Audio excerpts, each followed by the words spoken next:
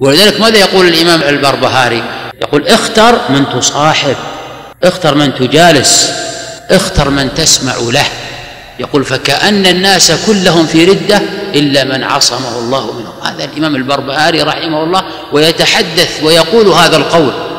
أنت ابن بيئتك. انظر تحرص على مجالس أهل الدنيا تشغف ويشغف قلبك بأهل الدنيا وبالمال. انتبه أنت ابن بيئتك. ولذلك ما قال الإمام البربهاري رحمه الله اختر من تجالس اختر من تصاحب اختر من تسمع له إلا لأمر عظيم. ما هو مثلا من المعاصرين أو المتأخرين لا من متقدم المتقدمين. وإذا رأيت إلى واقعنا وإلى كلامه قلت سبحان الله. لما؟ لأنه من معين واحد من الشرع.